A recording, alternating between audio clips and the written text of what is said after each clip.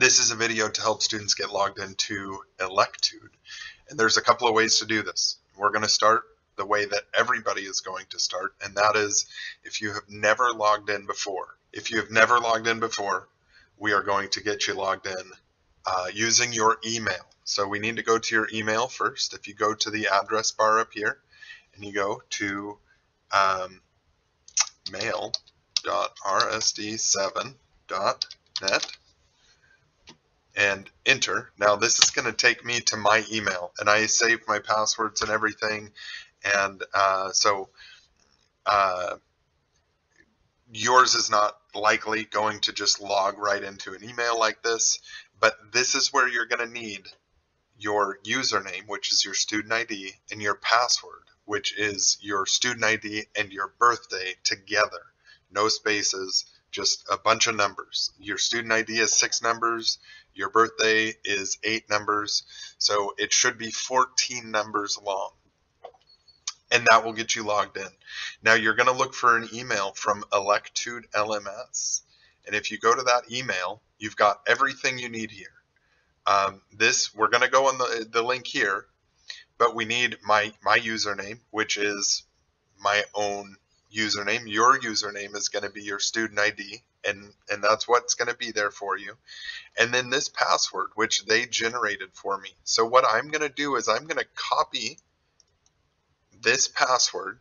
I know my username 123456 yours is your student ID and your password is whatever's here. So I'm going to copy this. I'm going to click on the login link. And I'm going to go username 123456 and I'm going to paste the password in there and then OK. Now you're going to get this same window. You want to agree? Yes.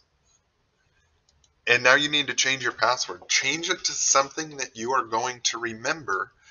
Uh, and if you have a hard time remembering passwords, write it down somewhere. Okay, so um,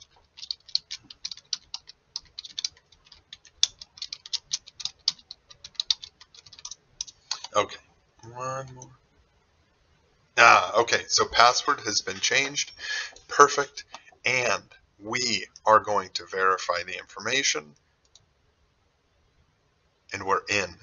Okay, so now if you go into content of exploring, we have one folder. Now this folder is going to change. Even as of the time you watch this, my intent is to go in and get these set up with other folders. this was a test folder that just just so that you could practice but there's going to be due this week past due and extra. And the extra is just going to be when I offer extra credit. But if we come in here we have a module and we have a quiz. Always always always do the module first and then do the quiz because you're going to learn everything to do well on the quiz in the module. So if we come in here start module. We're just going to go through. There's some information right here that the, the question right here might reference. In this case, what does the concept of movement mean? Well, we can see movement right here. Sentence number one is a change in position and time. Change in position in time. Done. Okay, so now we can go to the next question. If you see a vehicle that is traveling at a constant speed, is this classified as movement? Um, is the vehicle moving in position in time? Absolutely. So yes, it changes its position in time.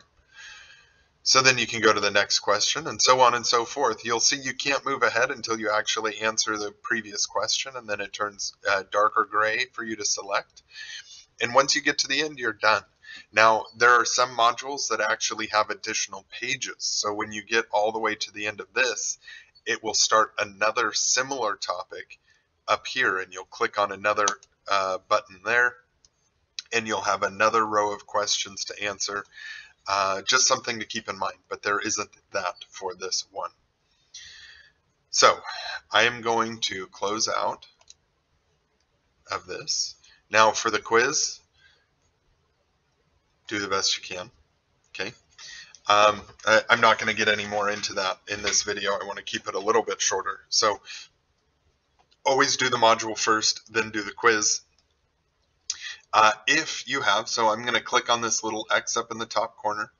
If you, if you have already been logged in, you're going to go to uh, this.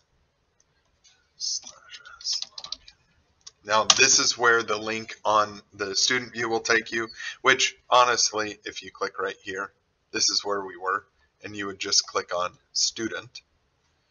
Um, but if you use the link that I've provided in Schoology, it will take you right to this page, the student login page. And I'm going to do one, two, three, four, five, six for my student ID and my password, and I am in.